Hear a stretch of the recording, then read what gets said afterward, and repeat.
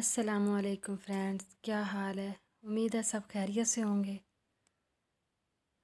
आज के जो हमारे ड्रेस डिज़ाइन हैं, वो बहुत ही खूबसूरत हैं।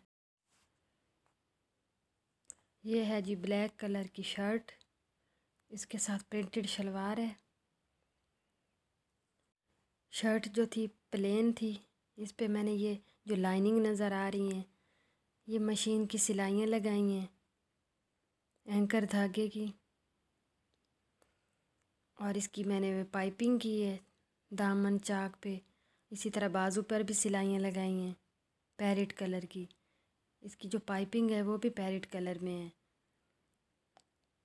और इस पर जो मोती लगाए हैं वो पिंक कलर के हैं।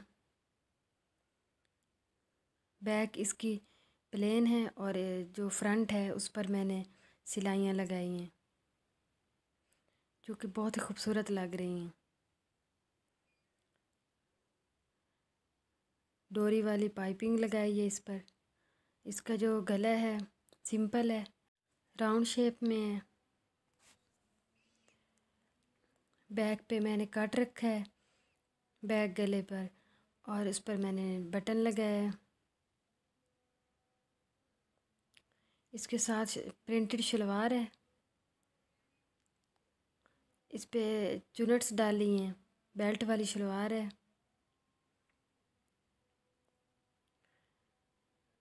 शलवार में जो जिस कलर के प्रिंट हैं, उसी कलर को मैंने शर्ट पे भी लगाया है, जो कि बहुत ही खूबसूरत लग में साइड की चुनट्स डाली हैं हल्की हल्की जो कि बहुत ही अच्छी लग रही हैं। अगला जो हमारा डिज़ाइन है, उसको मैंने थोड़ा सिंपल रखा है।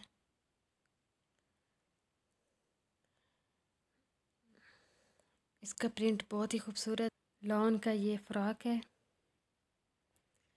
इसके नीचे मैंने बॉर्डर की पट्टी लगाई है,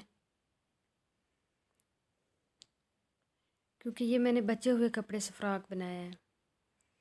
इसी तरह इसके बाजों पर भी पट्टी लगाई हुई है।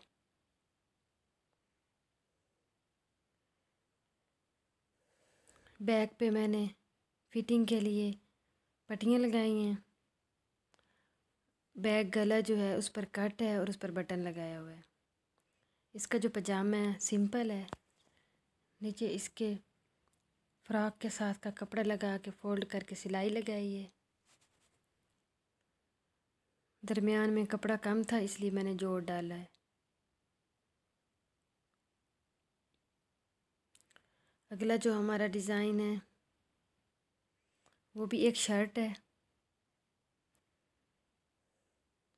ये भी मैंने बचे हुए कपड़े से ही बनाया है। जो हमारे सूट से कपड़ा बच जाता है, उसे ज़ाया नहीं करना चाहिए। उससे छोटे बच्चे का फ्रॉक शर्ट वगैरह बना सकते हैं। इसकी मैंने गले पे पाइपिंग की है।